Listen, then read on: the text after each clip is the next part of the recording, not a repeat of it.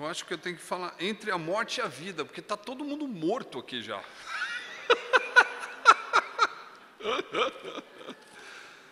Eu acho que eu tenho que mudar, eu tenho que falar sobre entre a morte e a vida, porque não é brincadeira, né?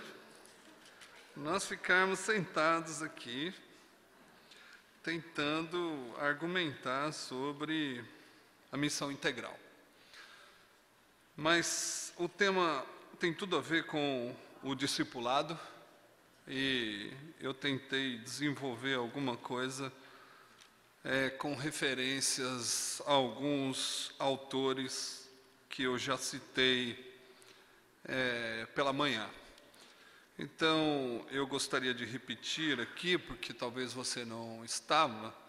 Então, os autores de referência desse texto é o Jorg Moltmann, Deus Crucificado, que ele tem um texto que fala sobre é, o discípulo na cruz. É, Dietrich Bonhoeffer, que é o nosso convidado pela manhã, foi o nosso convidado pela manhã, o discípulo, e também nós vamos usar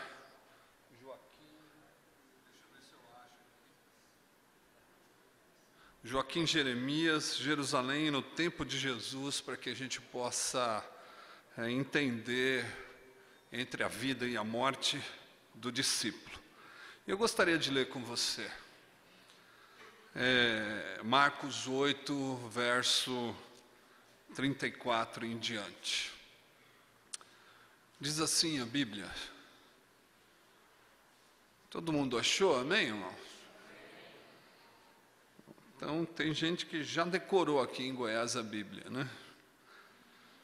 Então a Bíblia diz assim, Marcos 8:34 diz assim: E chamando a si a multidão com os seus discípulos, disse-lhes: Se alguém quiser vir após mim, negue-se a si mesmo e tome a sua cruz e siga-me. Porque qualquer que quiser salvar a sua vida, perdê-la-á. Mas qualquer que perder a sua vida por amor de mim, e do Evangelho, esse a salvará. Pois que aproveitaria o homem ganhar todo o mundo e perder a sua alma? Bem, vamos nos debruçar diante disso nessa noite. Então, o que eu queria dizer nessa noite de entre a morte e a vida, porque você já está morto. é da seguinte forma: que Jesus ele propõe algo para que a gente possa ser discípulo. E como nós escutamos, ele quer que nós sejamos discípulos dele e não de ninguém.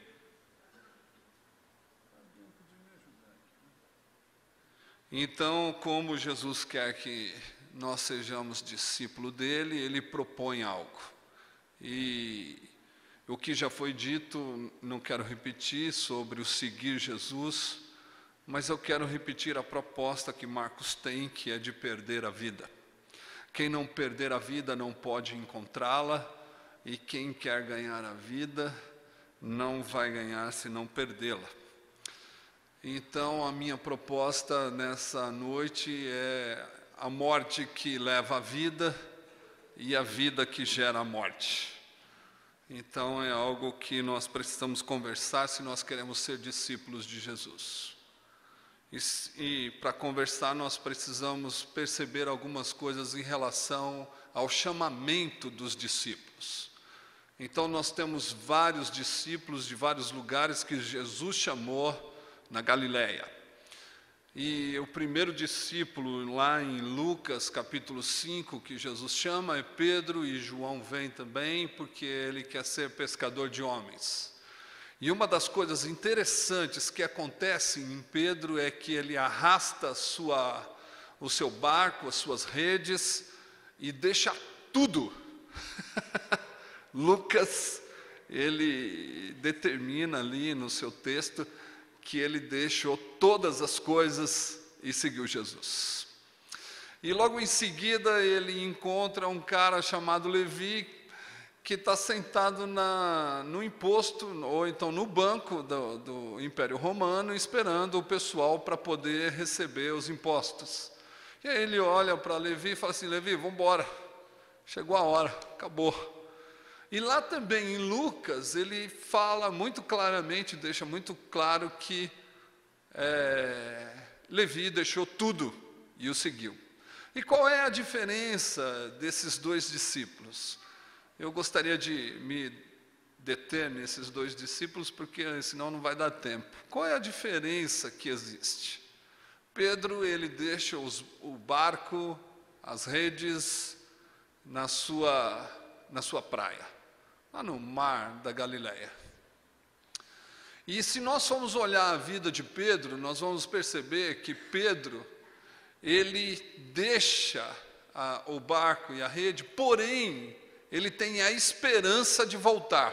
Todo mundo sabe, todo mundo leu já o Evangelho, que ele volta a pescar, ele volta a ter a rede, ele volta a ter o barco, quando Jesus morre e ressuscita. Tanto é que Jesus aparece e ele vai fazer um, é, um, uma peixaria na praia junto com Pedro para que os dois pudessem comer juntos.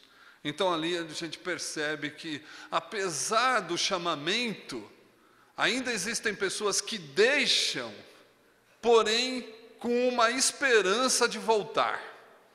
Agora, no caso de Levi, não, no caso de Levi é diferente.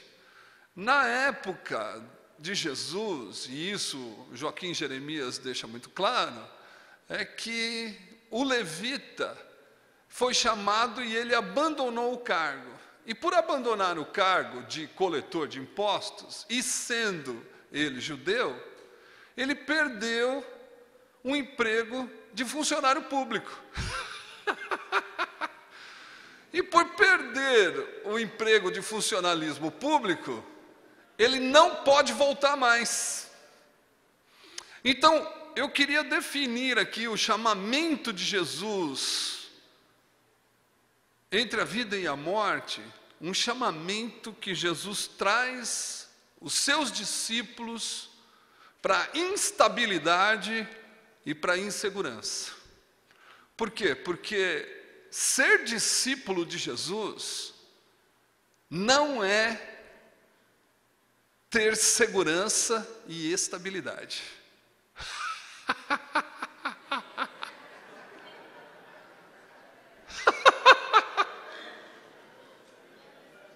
Então, pensando no tema, nós podemos pensar que esses homens saíram da vida para a morte.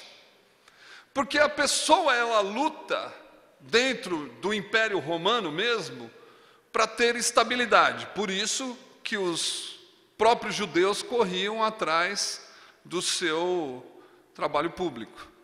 E por isso Jesus chama e quando Jesus chama para ser discípulo, para ser discípulo dele, é simplesmente para depender dele. Não existe condições de ser discípulo sem depender dele.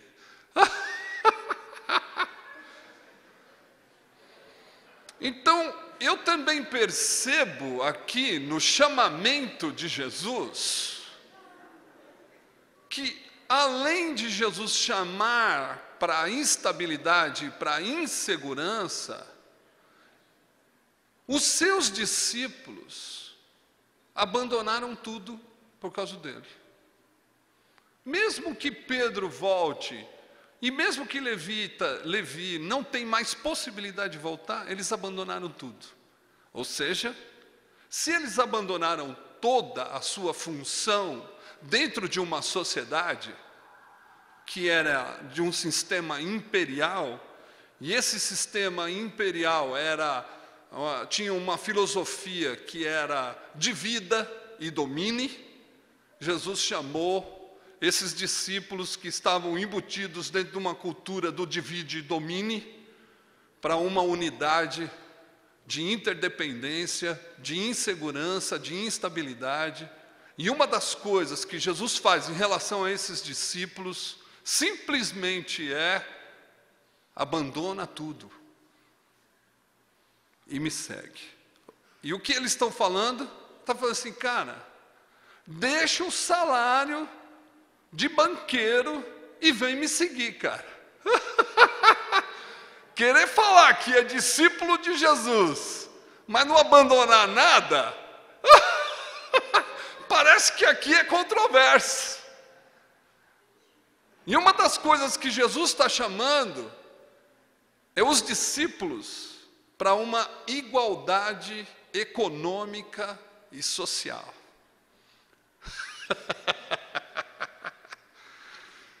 Jesus ele fala para Zaqueu, assim como fala para Levi, Levi, deixa o seu condomínio aí fechado, o seu carrão, vende tudo, cara, dá aos pobres e me segue.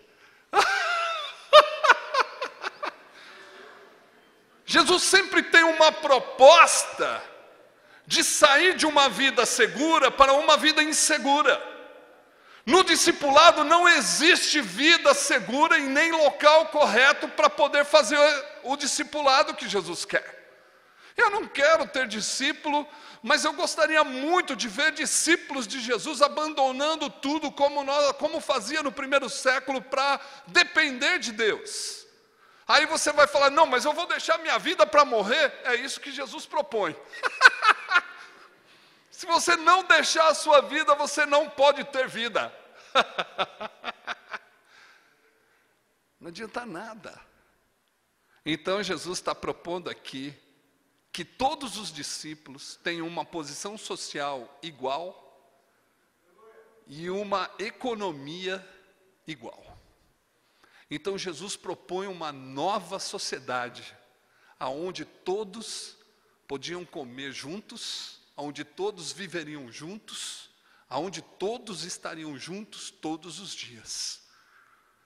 E é engraçado a gente falar de discípulo, mas a gente não querer morar com ninguém.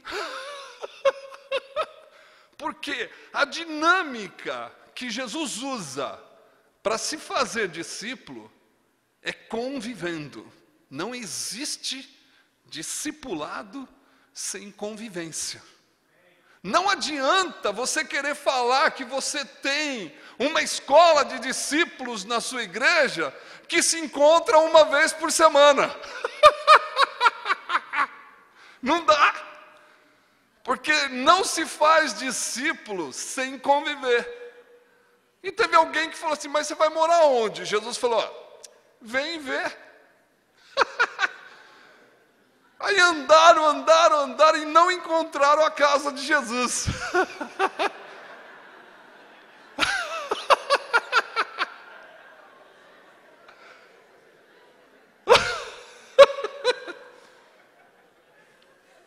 Então, se eles andaram, andaram e não encontraram a casa de Jesus, isso significa que Jesus tinha uma proposta de economia solidária que era muito abaixo do requisito econômico da época de Jerusalém, da Galiléia ou de Israel.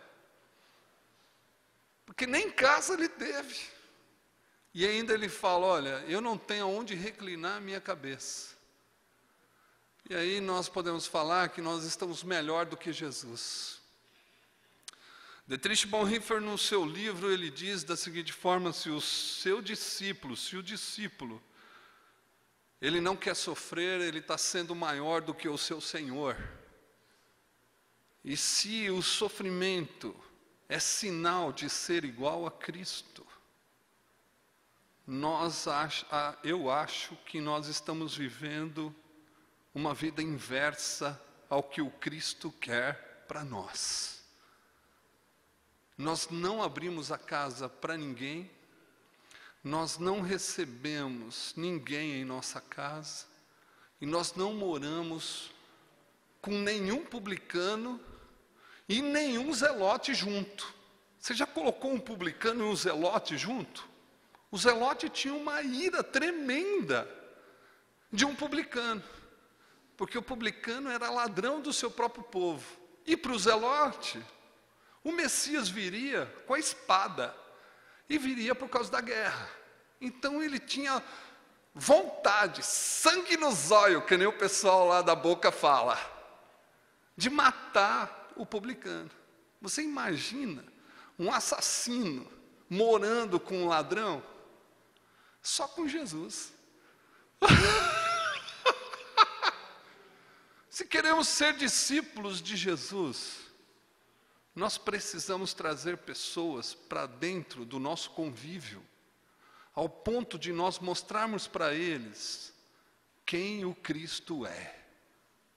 Porque sem isso, nós não vamos poder mostrar quem o Cristo é. Não dá. E eu quero falar para você de uma experiência, permita-me falar de uma experiência que nós tivemos, que foi super interessante. Levei minha família toda para uma churrascaria. Foi impressionante. Minha família, 37 pessoas, entre elas prostitutas, bandidos, assassinos e travestis. Todos eles entrando no, no, na churrascaria. Foi impressionante. E tem um rapaz, que eu quero chamar aqui de Vicente, que ele assassinou seis pessoas e morou no Carandiru por 14 anos. E ele achava que ele era meu segurança. Onde eu vou, ele ia atrás e queria ser meu segurança de alguma forma. Um cara super dócil, gente boa. Você não, não acredita, mas é verdade. E aí o gerente viu toda aquela casa, toda aquela família, que parecia a família Adams, só faltou a mãozinha, né? Entrando, ele veio conversar comigo. E o Vicente do meu lado. Ele falou: Você trouxe todos esses bandidos para dentro do meu restaurante, você. Eu só olhei para ele e falei: Olha, só me serve que eu tenho dinheiro, eu vou pagar. E eu quero que eles comam num restaurante. Aí ele foi embora, bravo. Né? Aí o Vicente olhou para mim e falou: Você quer que eu mato ele agora ou depois?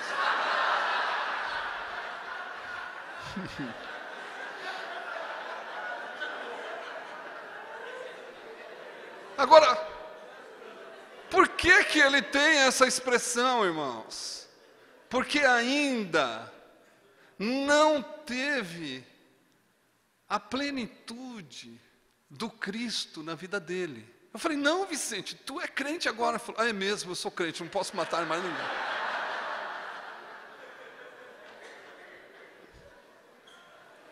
Então, estar entre a vida e a morte é estar vivendo as aventuras que o Cristo traz para a sua vida, ao ponto de você se envolver com pessoas que a sociedade não quer ao ponto de você se envolver com pessoas que a igreja do Senhor não quer. Porque existe um emburguesamento do cristianismo ao ponto de nós esquecermos da esperança que temos e da cruz que devemos carregar. Então, o emburguesamento faz com que a gente se afaste das pessoas e não se relacionem com elas. Então, uma das funções do discipulado é a convivência, é a vida comunitária que nós lutamos para ter. É uma vida de sair da inércia e da tríade da felicidade que nós vivemos hoje. A tríade da felicidade nada mais é do que trabalho, casa, igreja. Essa é a tríade da felicidade. Eu tenho um trabalho, ganho meu dinheiro, tenho minha família, vou para a igreja, escuto uma boa mensagem, saio, vou trabalhar de novo, volto para casa, vou para a igreja e fico nisso. Então, essa tríade é a inércia da comunidade. Agora, quando nós saímos dessa inércia, é porque a missão nos atingiu, E ela não nos atinge uma parte só da nossa vida. E é isso que Jesus veio chamar os seus discípulos para tocar toda a vida desses homens e mulheres. para tocar no bolso, para tocar na alma, para tocar no físico, para tocar na família. Porque Ele quer uma vida completamente comprometida com Ele. Não existe luz se nós não colocarmos todo o nosso ser em cima do velador. Tem gente que fala, nós temos um trabalho na favela assim, um trabalho no, no Carandiru desse jeito, nós temos um trabalho na cadeia, mas o pastor nunca foi. Como ele é discípulo de Jesus,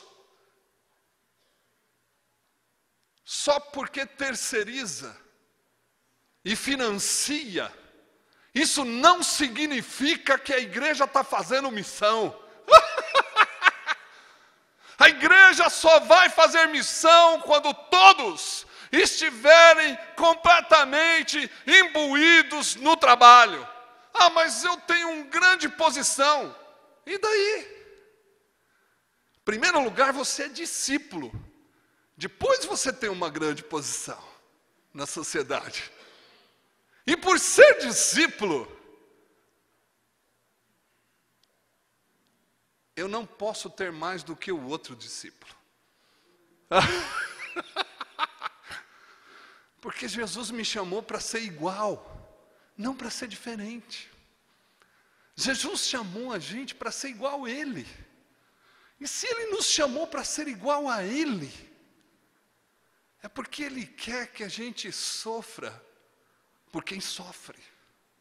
Ele quer comer com pessoas que a igreja se determina pecadora e ele senta junto com eles. Ele quer que seus discípulos sentem com pecadores. Ele quer que seus discípulos curem no caminho o cego. Ele quer que seus discípulos comam na mesa e que ouçam mulheres gritando e falando assim: pelo menos as migalhas da mesa. Ele quer que os seus discípulos viajem pela Samaria e encontrem uma mulher com cinco homens e que uma e que um homem não é dele, mas reconheça dentro dela não os erros e as falhas do passado, mas reconheçam a possibilidade, a potencialidade que essa mulher tem de se tornar uma discípula de Jesus. e hoje em dia nós poderíamos falar dos travestis que são procurados até por pastores evangélicos para serem passivos no seu bel prazer. Esses homens precisam de pessoas que imitam Jesus, para que eles possam ser imitados também. E assim se tornam discípulos de Jesus. É algo que nós precisamos entender. A missão, ela não se faz terceirizando, ela se faz se envolvendo completamente com a missão. Eu estou no trabalho, mas esse trabalho aqui é simplesmente algo que não tem muito valor para mim. Porque o que eu quero fazer é atingir os outros que estão aqui. Esse é o trabalho maior. Então eu digo da seguinte forma: que a vida e a morte são conceitos altamente teológicos. E nenhuma ciência vai definir o que é vida e o que é morte. Mas a teologia, ela vai fazer uma trajetória para mostrar para a gente de onde vem a vida, para que, que serve a vida e para onde vai a vida. E se nós quisermos definir o que é vida e morte, nós vamos mostrar um absurdo, porque não dá. Então, é um assunto altamente teológico e também um problema fundamental para a teologia, que precisa responder esse desdobramento do viver. E a vida do discípulo tem algo que, além de teológico, ela é pastoral. Por que pastoral e teológico? Porque teológico, nós vamos ter que estudar os fatos históricos que nós estamos inseridos para poder dar uma resposta para essa sociedade, aonde ela está perdida e o que ela precisa fazer para encontrar o Cristo que nós servimos. Então, todos os homens e discípulos de Jesus, eles tentaram dar uma resposta conforme o seu tempo e conforme a sua história, porque eles estão inseridos na história. Se nós formos olhar para Jesus, Jesus ele quis dar uma resposta, os seus apóstolos, os seus mártires do primeiro século, se, leva, se levantaram contra um sistema chamado sistema imperial, que eles dividiam para dominar. Se nós formos olhar para a Idade Média, nós também vamos perceber essa luta de, de uma teocracia que na verdade não é teocracia. Eles colocavam a responsabilidade em Deus para dividir e para dominar. Se nós formos olhar para o iluminismo ou para a idade moderna, nós vamos olhar que o homem se coloca no centro, deixa a religião de lado, para simplesmente mostrar que agora o homem é um indivíduo e, por ser indivíduo, ele pode viver da forma que ele quer e pensar do jeito que ele quer, e aí não tem condições de fazer discípulos nem no sistema imperial, nem no sistema teocrático, nem no sistema moderno, porque o, o, o homem está no centro. Mas hoje, fazendo uma leitura da história, nós também podemos perceber que nós estamos dentro de um sistema, e esse sistema é um sistema de comércio global, ou seja, nós estamos num sistema de lucrocentrismo, aonde o homem vale não o que ele é, mas o que ele tem. Ou seja, e a religião ainda se torna um, um supermercado, aonde Deus é o balconista e a igreja é o seu balcão, aonde eu vou receber e querer aquilo que eu desejo. Então, dentro do sistema global do mercado, a igreja se torna só mais uma aonde todo mundo vem e quer se satisfazer. Mas na missão, Deus não se torna o balconista. Ele se torna o protagonista, aonde ele manda e os seus discípulos obedecem. E uma das coisas que nós precisamos entender é que nós não valemos o que temos, porque nós fomos comprados pelo sangue, nós fomos pagos por um sangue precioso, e valemos muito para trocar o sangue de Jesus por dinheiro. não dá. A vida monetária não traz estabilidade traz medo. A vida de lucro, a vida de ricos, não traz estabilidade, traz, traz medo. Traz tanto medo que ele se fecha nos muros, achando que lá ele vai ter segurança. Mas se ele não tiver o crachá, nem na casa dele ele entra. Então ele acha que ele está preso, ele está livre, mas na verdade ele continua preso dentro dos seus prazeres, dentro da sua riqueza, tentando aglutinar as suas finanças, as suas finanças, para ter uma vida de bem-estar no futuro. Parece que Jesus falou para uns discípulos sobre esse cara. E ele falou da seguinte forma: que tinha um homem que ele construiu um celeiro. E seu, a sua colheita não coube, ele teve que construir outro.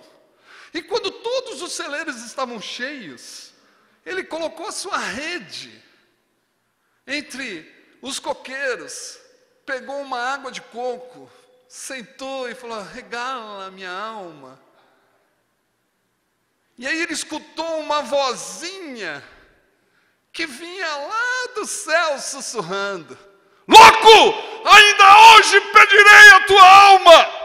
Não existe bem-estar se nós não ajudarmos o outro. Não existe bem-estar se nós não dividirmos a, a, nossa vida com o outro. Não existe bem-estar se nós não nos dedicarmos ao que Deus quer para a nossa vida. Discípulo está preocupado com o que o seu Senhor quer e não com aquilo que eu quero. não tem jeito. Jesus chama ricos e pobres para terem a mesma posição social. Discípulo não tem posição social. Jesus destrói com as classes. Jesus destrói com também os preconceitos raciais. Não existe bárbaro, citro, escravo, livre, homem, mulher, todos são iguais em Cristo Jesus. Porque a sociedade pode implantar qualquer sistema social, mas nós, como discípulos, permanecemos num sistema só. Somos iguais. Queremos que o Senhor nos sustente. Queremos que o Senhor nos ajude. É bom ter dinheiro? Já tive. Não foi bom para mim. Gastei tudo com a minha própria vida. E isso não me trouxe vida me trouxe morte. Mas quando abandonei, eu encontrei a vida. Eu posso falar para você que eu ganhei um bom salário e pude dar de presente para minha mulher carros, tudo que ela precisava.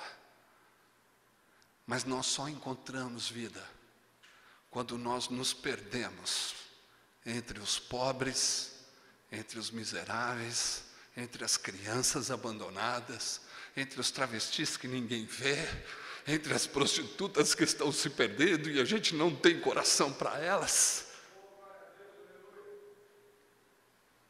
Porque se Deus chamou, Ele vai dar vida para nós. Agora, a sua vida financeira está te trazendo vida? ou a sua vida financeira está te trazendo morte?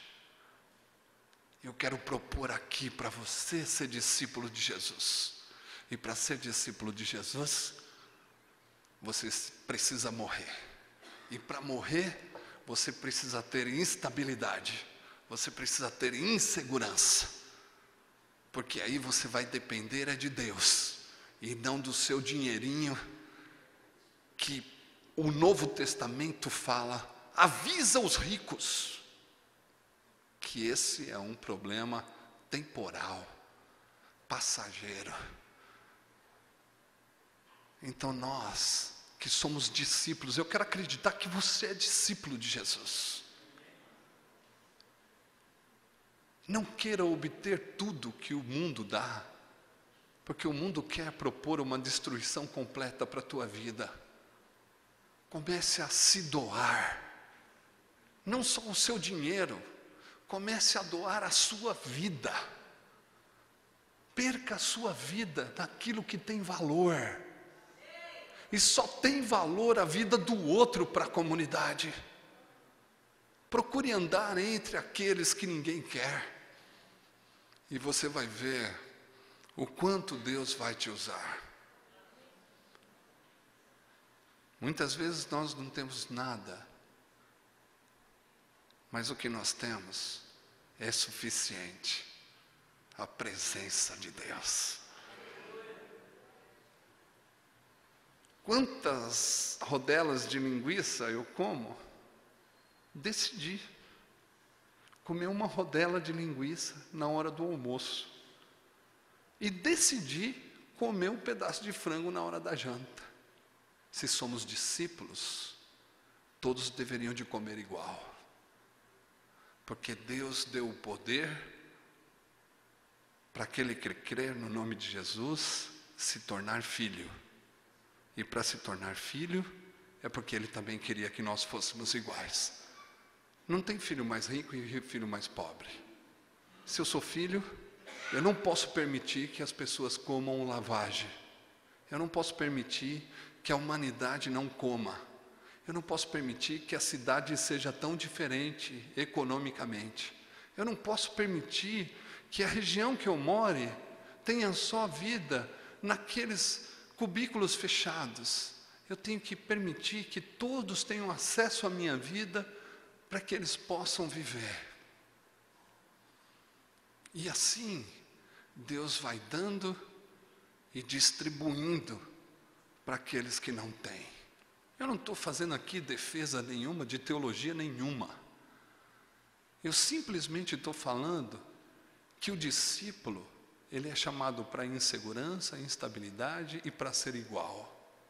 Cabe você decidir. Eu não vou ficar bravo com você, vou respeitar a sua posição, porém, pensa um pouco. Você é filho? Existem filhos passando necessidade? A responsabilidade é minha, porque os outros não estão passando o que eu estou passando.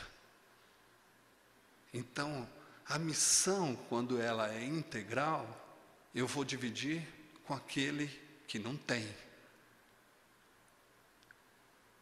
E vou dividir até que ele tenha a mesma coisa do que eu. Porque assim eu vou poder viver tranquilamente. Em Santo André, as casas são todas fechadas, grade, porta, chave tetra. Na minha casa tem uma chave só, e eu não sei onde está.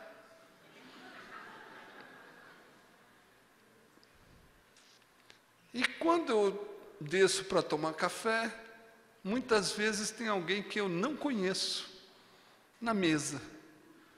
Aí eu falo para ele assim: beleza, quem é você? Cheguei ontem, muito prazer. Como que você fez? abri a porta, dormi aí na sala. Falei: que bom, bem-vindo. Vamos começar uma caminhada de amizade para saber se você conhece Jesus.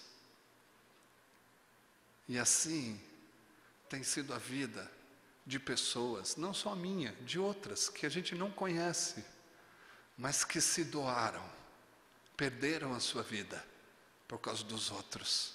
Jesus deixa muito claro que ninguém tira a vida dele, mas é ele que a dá.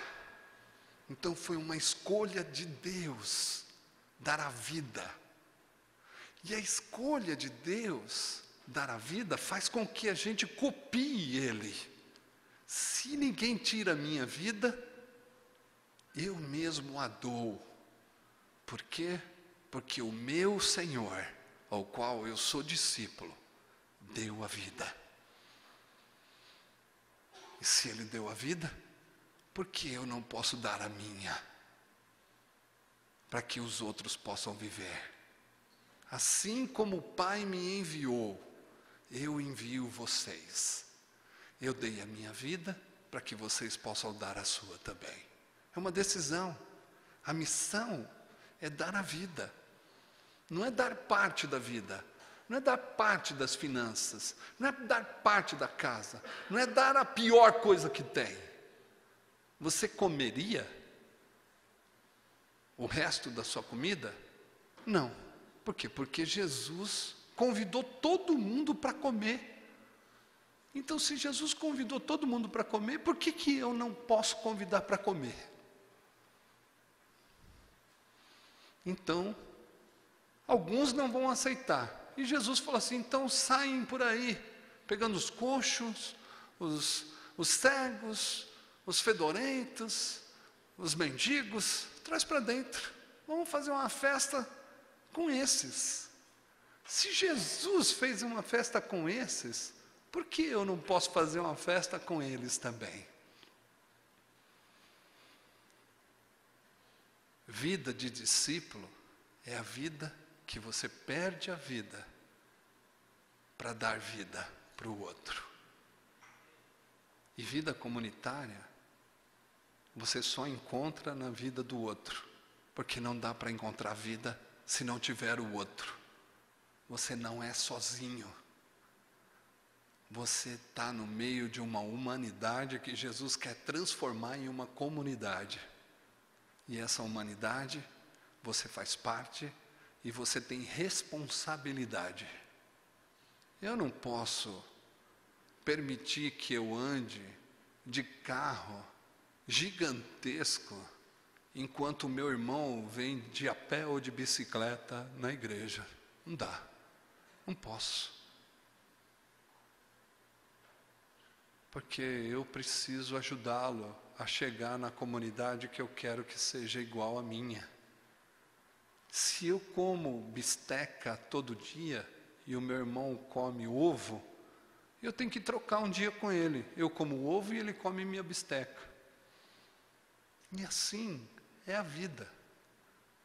A vida que gera a morte é a vida egoísta, individualista, mercadológica, humana, carnal e diabólica.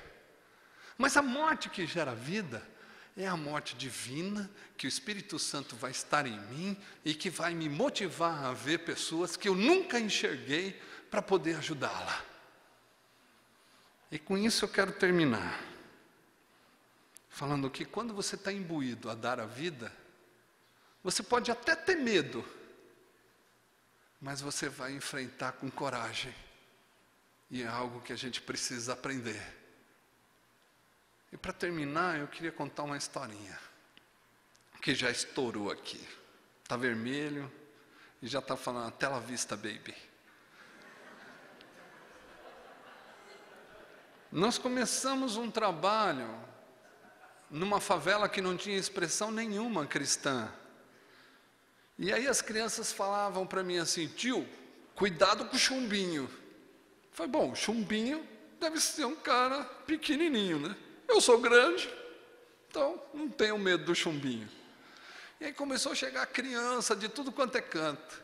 E a gente brincava numa lona, que era muito legal. E aí eu lembrava da minha infância, que faz muito tempo. Mas ensinei essas crianças a pularem amarelinha, pular corda, jogar fubeca. Pô, que coisa maravilhosa que era estar no meio dessas crianças. Foi muito gostoso. E aí nós levamos o primeiro lanche na favela, pão com queijo e presunto, ninguém comeu nada. Foi, mas por que, que ninguém comeu pão com presunto e queijo? Até eu queria. No outro dia levamos pão com mortadela, não sobrou nada. Falei, então eu preciso começar a comer pão com mortadela. Aí eu estava saindo da favela e encontrei o chumbinho. Sim, de repente, estava saindo um negão, negão na, no sentido é, de, de negão mesmo, né? Não dá para falar outra coisa agora. Não dá para corrigir uma coisa que eu já errei. Mas, mano, o cara era um armário. O cara era um armário, ele era maior do que eu. E aí ele falou assim: Quem é você? O que você está fazendo aqui? Eu olhei meio para ele assim, Falei, ele é grande, mas não é dois, né? Falei, bom, eu estou aqui porque eu sei quem eu sou e o que eu estou fazendo. Eu não sei quem é você porque eu nunca te vi. Ele falou assim: meu nome é Chumbinho. Eu falei, pronto. É um tanque de guerra, né? É um chumbinho. E aí começou a tremer minhas pernas, porque eu estava corajoso, mas com medo lascado. E aí já fiz a besteira mesmo, né? Falei, agora eu vou continuar fazendo besteira. Falei, bom, então eu sou Paulo Capelete, o pessoal me chama de macarrão, sou pastor aqui, e vim aqui para falar para essas crianças que elas não podem ser traficantes, que elas não podem usar droga, que elas não podem viver à custa do dinheiro dos outros, que elas não podem roubar, que elas não. E por isso eu não quero que elas sejam traficantes nessa, nesse bairro. Então, boa tarde para o senhor e estou indo embora. Aí saí andando, falei, pronto, agora vou tomar dois pipocos, acabou minha vida. E aí eu fui andando e fui vendo que ninguém atirou em nada, né? Aí eu, pô, cheguei em casa, dei um beijo na minha mulher falei, poxa, não morri hoje, que legal. Pude encontrar. Aí voltei na favela por quatro anos, esse homem não deixou, não permitiu que a gente alugasse nada, comprasse nada. Mas todas as vezes que eu passava, ele falava para mim assim: Pastor, essas crianças estão mudando. Eu falei, sei, e nós vamos ajudá-las a mudar. Quando eu reuni um grupo de pessoas para tirar crianças da escola municipal para pôr numa escola particular, ele veio e me deu um abraço e falou: Eu nunca estudei, mas eu estou achando que você vai conseguir. Eu falei: Eu sei. Aí outro dia roubaram o meu computador, levaram para a casa dele. Aí o menino foi lá na casa dele e falou: O pastor Macarrão roubaram o computador dele, está na sua casa. Eu falei: Ah, é? Espera aí. É esse aqui? É. Foi lá, bateu nos dois travessis que roubaram e falou assim: ó, Fala para o pastor perdoar a gente. Aí fui lá, conversei com ele: Eu quero perdoar você, mas você não faça mais isso. Não bata nos travestis, porque eles são meus amigos. Mas roubaram você, cara. Falei, e daí? Se roubaram é porque tem necessidade. Então não faça mais isso. Não bata mais em ninguém. Sim, senhor. Então, um abraço para você. Então, quando você perde a vida, você ganha a vida. Morra um pouco para você e viverás. Vamos orar.